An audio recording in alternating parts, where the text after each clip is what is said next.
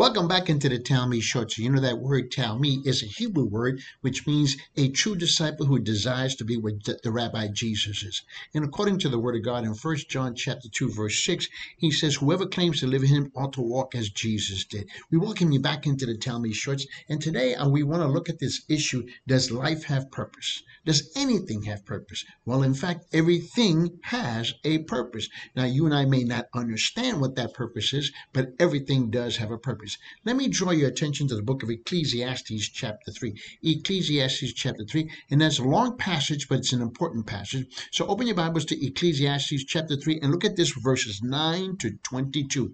Verses 9 to 22, Ecclesiastes, chapter 3. Notice what he says, starting in verse 9. What benefit is there for the worker from that which he labors? I have seen the task which God has given the sons of mankind with which to occupy themselves. God set eternity in the heart of mankind. This is what he's talking about.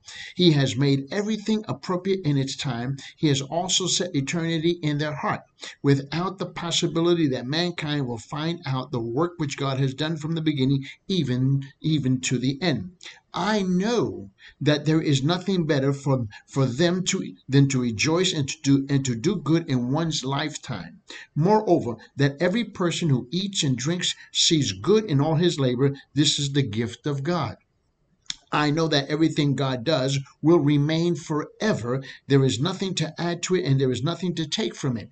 And God has so worked that people will fear him.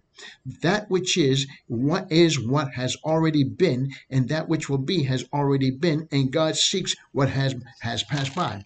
Furthermore, I have seen under the sun that in the place of justice there is wickedness, and in the place of righteousness there is wickedness. I said to myself, God will judge the righteous and the wicked. For a time for every matter and for every deed is there.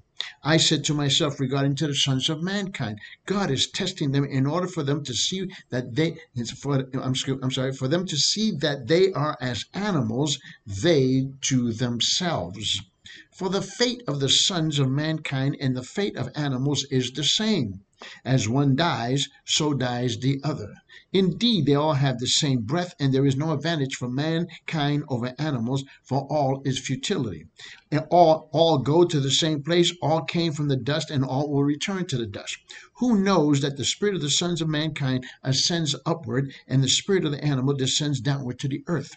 I have seen that nothing is better than when a person is happy in his activities, for that is his lot. For who will bring him to see what will occur after him.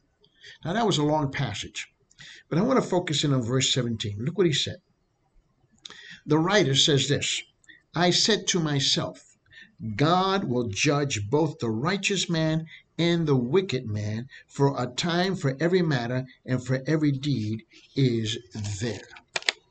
We've had this problem for eons and eons of years of asking the question Does life have meaning? Does work have meaning? Does anything have meaning? And I was and I would submit to you that everything does have meaning. Think about the progression of this question. Does anything have meaning?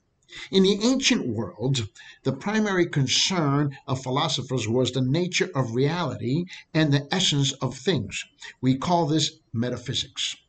Since the ancient pagans rejected the truth that God created the world out of nothing, they sought to understand the world in terms of itself. Eventually, this investigation broke down, since no one could explain how the presumed oneness of all the things could be reconciled with the evident with the evident diversity of the things in the world. So this broke down. And then when the pagans thought when the pagan thought revived in the modern world, it shifted its attention to the problem of knowledge. Knowledge. Uh, we call this epistemology. It's the word knowledge. How is it possible to know anything?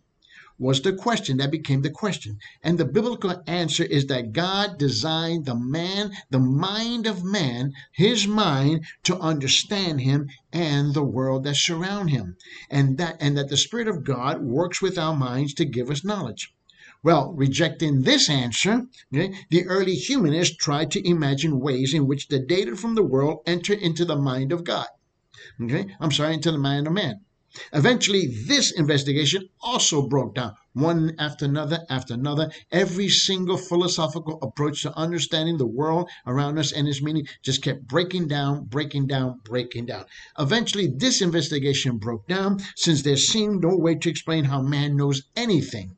And in fact, it may be that all the knowledge is mere illusion and insanity. Huh, welcome to the educated bunch that are out there.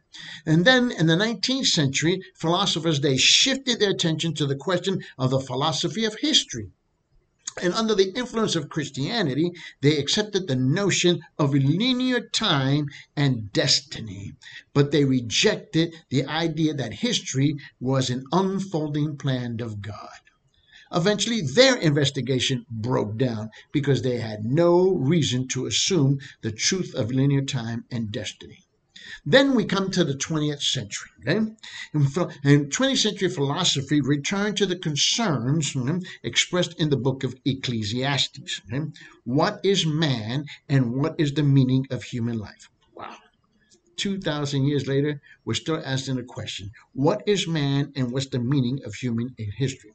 Martin Heidegger, okay, in his book Sein und Zeit, okay, or in, translated from the German Being and Time, Being and Time, said that the man experiences a sense of living, of having and living, been through, having, having and living, and been thrown into life. That's what he said. Not knowing where he came from or where he's going. Well, that's wonderful. He lives in a meaningless, meaningless and terrifying here and now. That's not encouraging whatsoever. And yet, that's how people come out of all of our universities.